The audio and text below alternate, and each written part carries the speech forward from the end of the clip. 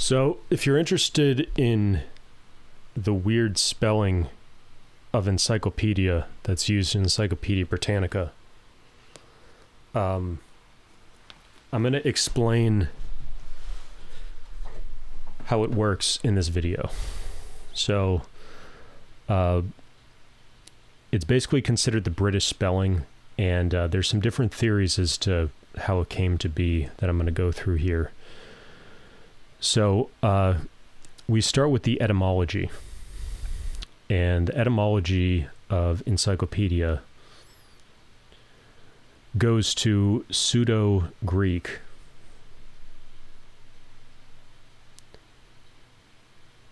A combination of basically the Greek word for circular and the Greek word for child rearing slash education.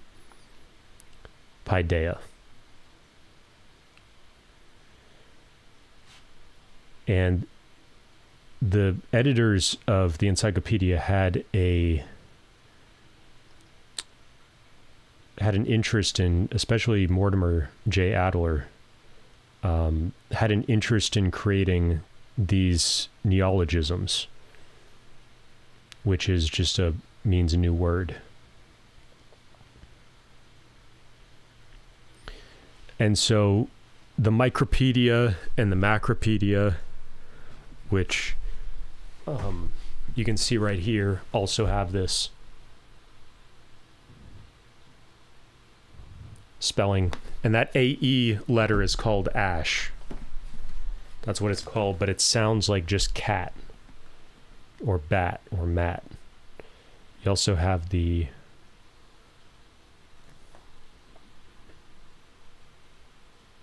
So he basically invented these new words. But the funny thing is, um, when you trace back the etymology, it started out as a fake word. Encyclopedia itself is a fake or pseudo Greek word. And what that means is, um, and you see, this is kind of advanced, but univerbated. Um, it's a technical term for when a word gets fixed in a certain form. Um, and my understanding is it's basically all the uh, declining and conjugating of uh, nouns and verbs in Greek and Latin. Um, you'll hear this sometimes with alumna versus alumnus versus alumni.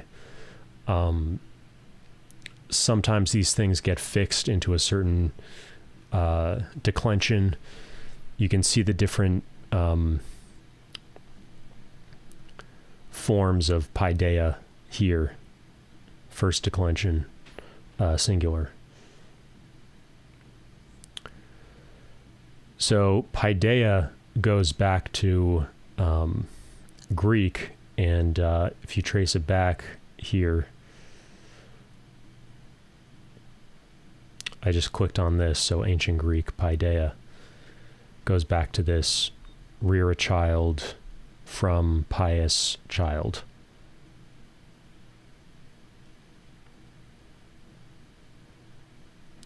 And then child goes back to basically Sanskrit, Proto Indo European. Um, and we looked at uh, Macropaedia, Propaedia. Um, some of you know Cornel West, and he's probably the person who uses this the most of anybody these days. And uh, I, I just I wanted to see how he remind myself how he pronounces it, Paideia. Um,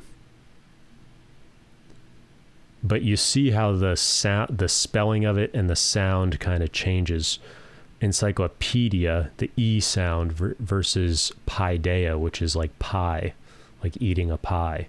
So uh, I'll come back to this in a second. To you. All those corpses at the end. Can you take it? Take the text and throw it against the wall. It's too much. That's called pie there. That's called education. Toni Morrison's Beloved will do it. Darwin's Origins will do it. Nietzsche's Genealogy of Morals will do it. Kafka's The Metamorphosis will do it. Listen to some John Coltrane's Love Supreme will do it. Listen to Jay-Z on a high moment will do it. Paideia, singing Paideia, textual Paideia, various ways in which trying to get you to engage in what Simone they call a formation of attention. That's the first moment of paideia. How do you convince people to move from the superficial to the substantial, to move from the frivolous to the serious, to move from bling to wrestling with truth and justice and sorrow and sadness and joy? That's that turning of the soul relation of that formation of attention to the cultivation of a self that respects reality. That goes on. He mentions a lot of the classics there, gets into more modern day stuff with Kafka, Metamorphosis, and then goes. Uh, then he goes into um, John Coltrane, Love Supreme, and Jay Z and uh, the word the Simone de Beauvoir is the is the name he um, meant to say there, I believe. So, uh, Ash was adapted to uh, the Ash sound wasn't in Latin, so it didn't really fit. So they had to create something for it. Um, came over from Christian missionaries who basically it was just an oral language. There nobody was writing anything down, and then they adapted the Latin script to it.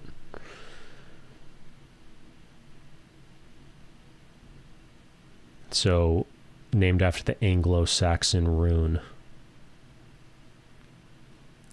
And there's a number of different uh, pronunciations of it so it's not a one to one. Here's another pseudo Greek Oxford Encyclopedia, Ox, uh, OED, Oxford English Dictionary. Um, here's another entry on this is affixes affixes.org. Um,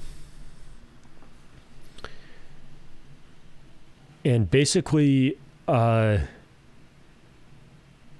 the key thing here this map just shows you Anglo-Saxons the Angles and the Saxons came over and colonized Britain um, 400 to 500 AD.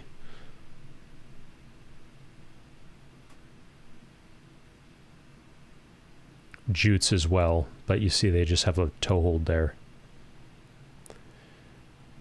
So uh, there's also some interesting stuff here, but basically repeats what I just said about the pseudo Greek. And, and the the whole deal with pseudo Greek is that if you and this is done in academia a lot if you want to come up with a new word uh, you combine two or three roots plus an affix plus a suffix and you create your new word and there's also kind of a branding thing where uh, this was particularly popular a few hundred years ago and even more recently to kind of link yourself to something more ancient. That's part of the idea of the classics as well as you're going back and linking to the great works of the canon or of a canon. So it's not just linking back to uh, ancient Greek or ancient Roman works, but you have uh, Cornel here linking back to uh, Jay Z and John Coltrane, and uh,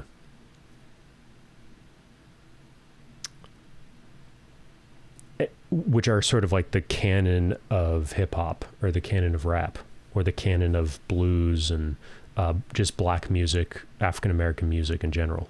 So uh, a canon can exist in any genre and in any kind of cultural form. and you see him kind of combining that. So uh, that's that's the history. Uh, one last little factoid, if you're interested. Um, Elon Musk and Grimes, they're uh, you may remember a few years ago, or it might have been a year or two ago, they announced their first child, and uh, his name was X Ash A12. And so uh, the explanation of that is X is an unknown variable, or it's just within math, it's used as a uh, variable for something unknown. Um, it's also used in some states for birth certificates that don't have a gender. Um, that's just my own kind of interpretation of it. I don't. They'd never mentioned that, but um, that's used on some birth certificates for neither male nor female. Uh, then Ash is explained as Elven spelling of AI, so artificial intelligence, and also love in Chinese. And then A12 is their favorite aircraft, but was mostly Elon Musk's contribution. And that was um, kind of like the U 2 spy plane. It was a different spy plane, didn't have any weapons on it, um, but was very fast and would go over Soviet Union and uh, take pictures. And uh, I did a video a while ago on Elon Musk's appearance on the Hardcore History podcast. And you get a sense of he talks about etymology. His he has a very high interest in etymology that he talks about at the very end of that podcast. Also knows quite a bit about different models of airplanes and you hear them talking about it back and forth. And he brought one of his engineer friends on there also, um, and they talk about it. And it it kind of um, links to his concept of a competitive moat.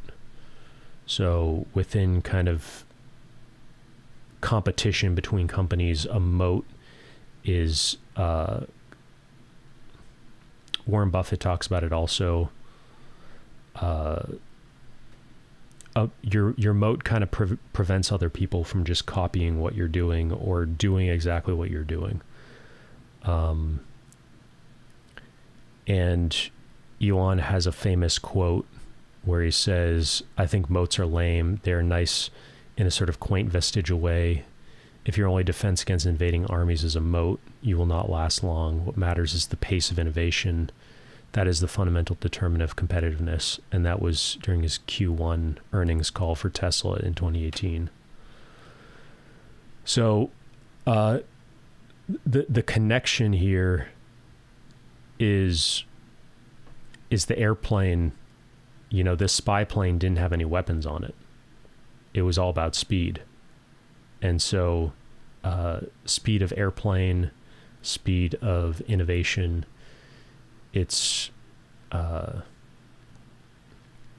it's a focus on speed and kind of evasion as opposed to direct conflict. And uh,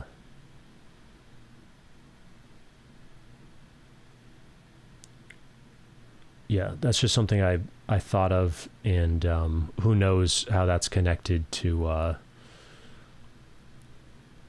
everything else he's involved in. But uh,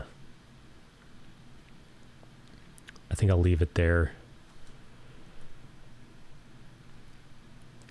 Oh yeah, one other thing I forgot to mention is ligature. So ligature is when things are joined, words are joined together. And Beowulf also has um, has some of that in it. So I'll leave it there for now. Let me know if you know anything else about this in the comments down below. Make sure to like and subscribe if you want to get more content like this, and I'll uh, and also check out the link below for the playlist excuse me, on other stuff in other uh, videos in this series, and also there'll be a link to a free resources spreadsheet on my website that um, lists out a bunch of different free resources uh, related to encyclopedias, great books, classics, all that kind of stuff.